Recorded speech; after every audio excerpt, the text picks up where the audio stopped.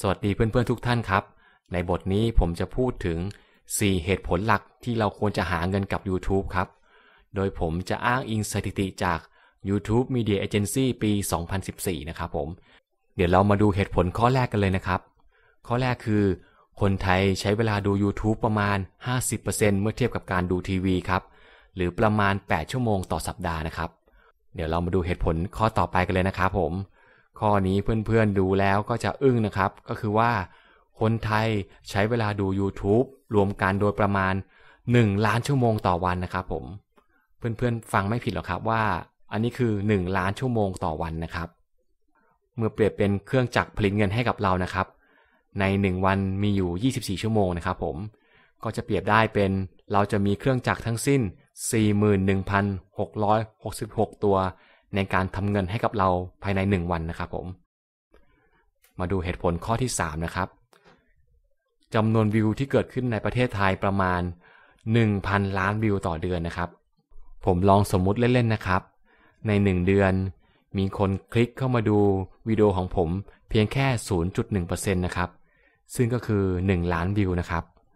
แล้วมีคนคลิกโฆษณาที่วิดีโอของผม เพียงแค่ 1%นะครับ ซึ่งก็คือ 10,000 คลิกนะครับที่มาคลิกโฆษณาของผมนะครับผม ต่อมามาดูเหตุผลข้อสุดท้ายนะครับ ที่เราควรจะหาเงินกับ YouTube นะครับ ข้อสุดท้ายก็คือว่า การหาเงินกับ YouTube นะครับสามารถทำได้ง่ายมากนะครับ ผม เพียงแค่เรามีโทรศัพท์ที่เราสามารถที่จะถ่ายวิดีโอได้นะครับ ในสมัยนี้สมาร์ทโฟนทั่วๆไป ก็สามารถถ่ายวิดีโอได้ทั้งหมดแล้วนะครับผม ไม่จำเป็นว่าจะต้องเป็น iPhone หรือ Samsung ที่มีกล้องที่มีความคมชัดเจนมากนะครับผม กล้องวิดีโอจากมือถือธรรมดานะครับ ก็สามารถถ่ายที่จะทำเงินกับ YouTube ได้นะครับผม แล้วเราก็จะต้องมีคอมพิวเตอร์นะครับ ที่ใช้ในการ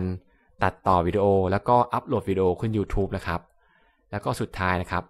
เราก็จะต้องมีอินเทอร์เน็ตที่จะต้องใช้ในการอัปโหลดวิดีโอนะครับผม และวิดีโอของเราใน YouTube นะครับ ก็ไม่มีเน่ามีบูดเหมือนของสดนะครับ เราก็จะสามารถหาเงินด้วยวิดีโอของเราได้ตลอดไปนะครับผม โดยที่มีข้อแม้ว่าวิดีโอของเราเนี่ยจะต้องไม่ผิดกฎในการทำเงินของ YouTube นะครับผม ในบทต่อไปผมก็จะบอกเพื่อนๆว่า เราจะหาเงินจาก YouTube ได้ยังไงนะครับผม อย่างที่ผมได้เกริ่นไปแล้วก็คือ เมื่อมีคนคลิกที่โฆษณาในวิดีโอของเรา เราก็จะได้เงินจาก YouTube ครับ ในบทหน้าจะอธิบายให้เพื่อนๆได้ฟังกันนะครับผม